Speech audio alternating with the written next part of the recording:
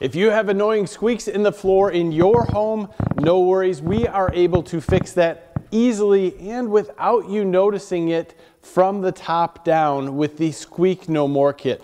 Squeak No More kit can work on carpet, hardwood floors, linoleum, just about anything. It comes with the carpet tool, the bit that you're going to need to drill down and screw in any of these fasteners to the floor, a hardwood and softwood tool, and also 50 of the special screws that are going to snap off in the perfect section. We're going to go through this and show you how we're going to fix a carpeted floor first, then we'll go through softwood and hardwood. In order to fix this squeak in your floor, it could be the joist or the screw that's causing the squeak. It could be the two floorboards moving together or it could be some linoleum that's sitting up on top and just moving around. We need to first be able to find that squeak and find the joist and to do so we're going to use the tool that comes along with this kit. It's basically a long screw but it's only threaded at the bottom.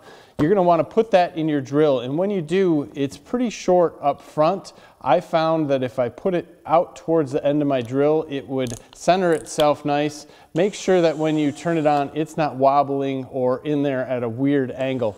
This is pretty simple. As we drill down, the threads are going to take us through the board. We'll do this here. And then if we hit the joist, we'll notice that when we go in reverse, it should back out. You can see here that we're just spinning. And I did this multiple times in our carpet and I used a tape measure to try to sort of figure out where the joists were. It didn't work, but this tool worked perfectly. You'll never see what's left of it because the hole is going to be underneath and this goes right through the carpet without issue. Once you actually do find a joist, you're going to be able to screw this in and you will hear it not only in the drill, but you'll also notice that it will pop right back out without issue. So now once we know where the joist is, we're able to move on to the next step. The next step, we chuck the bit that comes with the kit. That is very important because it has a collar on it that's going to stop us from driving these screws too deep. Now we need to use the screws also that come with the kit because not only do they have different threads on the bottom than the top that's going to help sandwich things together as the threads on the bottom are going to pull this screw down faster than the ones at the top. That's going to allow us to sandwich this without the head of the screw. They're also scored right here. So when we go to break them off, they're going to sit just a bit underneath the wood. That's going to ensure that we don't see it or step on it and also ensure that it's holding everything down properly. You have this kit for carpet or linoleum, this points are going to be able to push through the carpet and you're going to be able to hold that down. That's going to ensure that it's the right level. If you are doing this on a professional basis, you can also get a metal type holder. This is going to obviously last longer and be something a little bit more for the professional. It's also a little bit more expensive, but once you use this kit once, you realize that you could use it in multiple places and make some money off this. So that is available. So we're just going to push that down on the carpet and then screw in the screw and it's very, very simple. I'm going to show you here on the jig so you can see a little bit more of what's happening. We are using this like we are on linoleum. So we have some wood that's moving around here. We're just going to use this jig go in. We don't have to go fast. We just have to push down slightly, but we're gonna make sure that this is pushed down like it was on carpet. Get to the bottom where we can't screw anymore. Pull this guy off. There is a place in one of the legs where you just come over and grab the head of the screw. Now we just wanna rock and that will pull out. Now, if you're pulling that out in carpet, there is a little ledge here, so you want to be careful that you don't grab any of that carpet when you pull. But then here we are, sitting below. Now, on this linoleum, it didn't grab because it is sitting below this. And that is something that I think is a little bit important to note. If you are needing to pull this floor that's above on linoleum down, you kind of have to not go quite as deep. And that is something that is a finesse. Most times this squeak is not going to be an easy fix, but let me show you here. if we move forward just slightly, and I think this is something that you almost have to test out.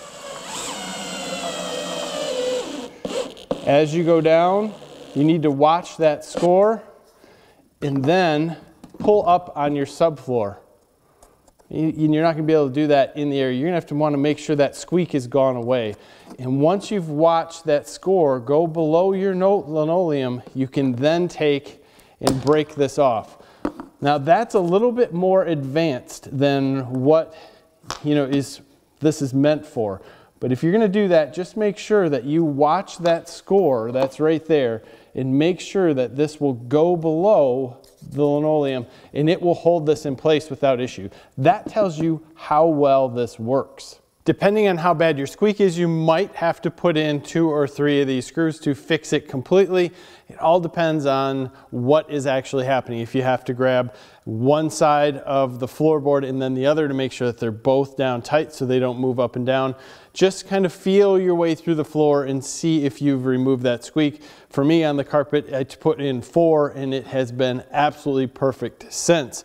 Now there's a little bit of a difference when you're using softwood softwood floors like pine or anything like that, you're actually going to want to pre-drill. And you can use a eighth inch bit in a paper clip to find the joists if you had to and then fill them up. But sometimes you can use a stud finder, find the joists. There's a lot of ways that you should probably try to measure because you don't want to mess up these floors that much. We're going to back this guy off a bit and show you if we just drill down here quickly with this eighth inch drill bit.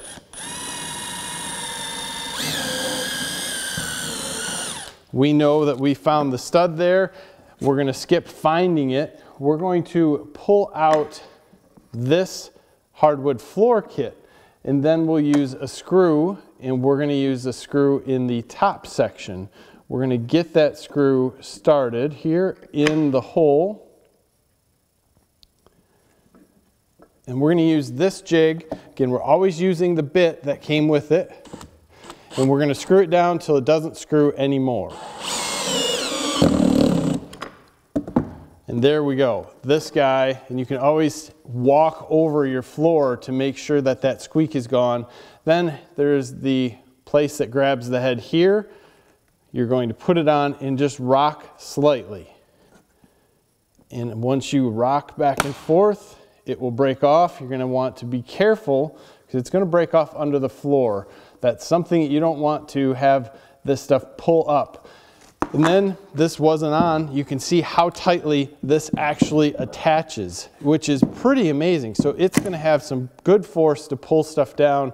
And if you needed to put one or two in, no big deal, a little bit of putty over that and it would be perfect. Now, if we were gonna do hardwood floors, there is another difference and we would again pre-drill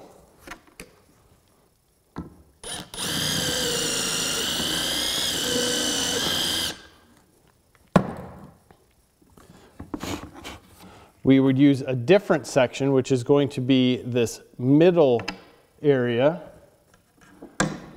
We're going to start this screw in the hole, still use the bit that came with it. This time we're going to drill this in and this bit is going to snap basically upon the torque that's played where that score is. So we're going to just keep going until this bit snaps.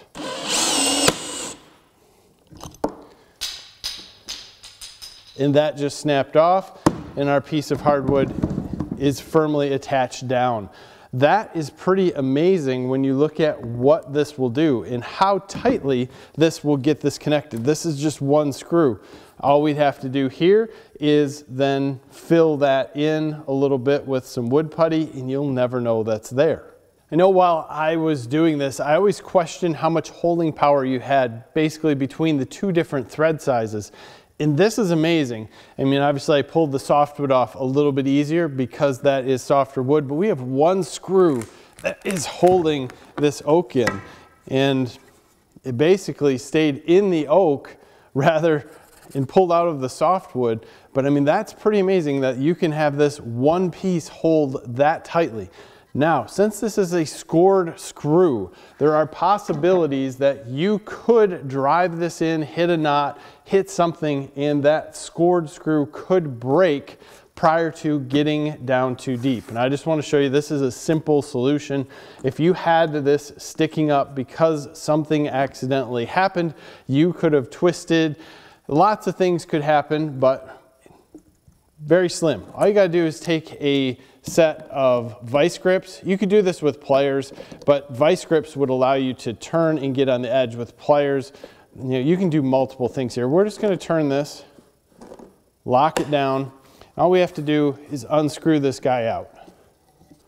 Very simple, very easy to do, and the chances of this happening are slim to none. But if that were to happen, that's all you would do, and then you could get this screw piece out. This works great. I attest to it. I've used it at the cabin a lot. I, this has been a lifesaver for me to go through and just get things. My situation is all out of carpet. I've just learned that I could mess with it a little bit, change things up slightly for linoleum if I needed to, and then watch how much this really can hold even with the hardwood floors, that's amazing. And covering it up is no issue. On carpet, this is you know, down deeper. You'll never feel it. You'll never even know it's there. Things that you should watch out for. If you are exploring with this screw, don't go down too far because you could have electrical lines, water lines, anything underneath there. So be smart where you're at. If you're in a bathroom, really think about what's happening so that you're not getting into water that could be going across. This can obviously puncture copper if you pushed hard enough. But other than that, this is pretty simple and good for any person who's in DIY. Slow down, be smart with it if you don't have the experience, but most people are gonna fly through this and have this job done very quickly and very easily. I'll put a link in the description to this kit. It's pretty sweet and it works quite well. I appreciate you hanging out with me going through this. If you need anything, ask some questions below. I'll be happy to answer them. Give us a like in this video. Subscribe to the channel if you haven't already. Thank you for your time. Have a great day.